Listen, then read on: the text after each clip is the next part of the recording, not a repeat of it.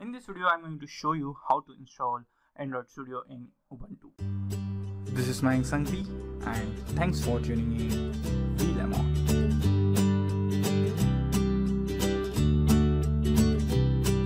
In this in this video I'm going to show you how to install Android Studio in Ubuntu.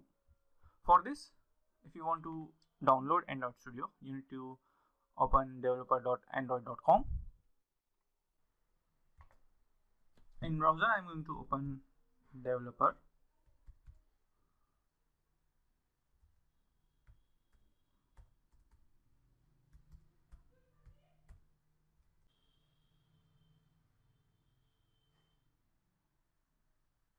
And then select get Android Studio. And download Android Studio for Linux. Accept the license term download Android Studio for Linux. And it is a zip file. And for this video I already downloaded this, this file and it is available in my download folder. So I'm going to click on cancel. Close the browser. And then I'm going to open files. Then downloads. And inside this this is my Android Studio IDE setup zip file. I'm going to right click and then I'm going to select extract here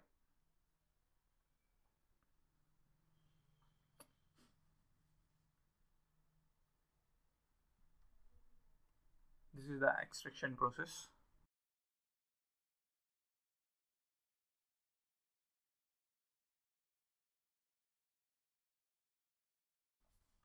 Our files are extracted. So let's see what is inside this.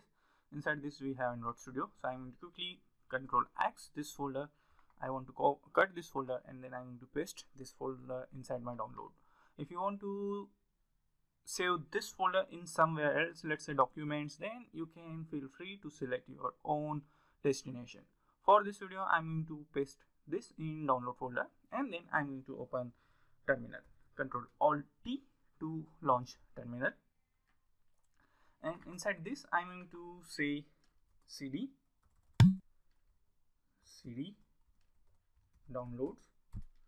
And then we need to say android studio and if you are not sure about the name then type ls and it's android hyphen studio. So i'm going to say android hyphen studio. Inside this we need to open bin folder. So i'm going to type bin then ls and inside this we are going to launch studio.sh for this i'm going to type comma forward slash studio.sh enter okay complete installation yes uh, right this is the fresh installation for ubuntu i don't have any files config files so yes do not import settings click on ok finding available SDK components. Click on next. Uh, select the type of installation whether you want standard or custom. If you want to customize everything then select second option. Click on next. The first option is the theme. I'm going to select the default theme. If you want to change it to dark, select dark. If you want to change GTK plus, GTK plus, then select the third option so let me select the first default option then i'm going to click on next okay now we need to download the android sdk and the download folder for android sdk is this for me i am the only one who is going to use this android sdk so that's why this location is fine for me if you want to change the android sdk location some common location feel free to change the android sdk location. And if you want to download android virtual device select this and then click on next. So around 1.71 GB is going to be download and then all this file is going to be extracted and going to install in our SDK location. So I'm going to click on next. And uh, for email address sending Android KVM Linux need to be installed. Okay, no problem. Click on finish and this is the download process. Click on show details page to check the details. And now we need to wait for the installation to complete uh, not installation first files are going to be downloaded and then installation of those files is going to be done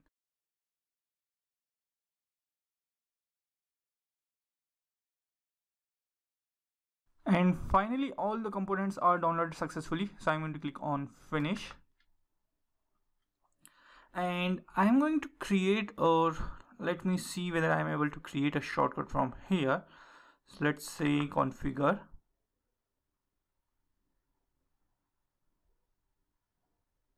And create a desktop entry. Create the entry for all user. Click on ok and we need to provide our Ubuntu password. And our desktop entry is created successfully. So let me close this.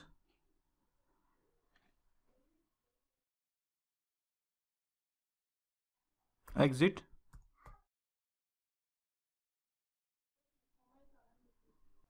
Show application all. And this is the icon or shortcut for Android Studio. Click on this to launch Android Studio once more in our next video, we are going to learn about how to create a new Android Studio project, how to create an Android virtual device for your testing. Some important URLs.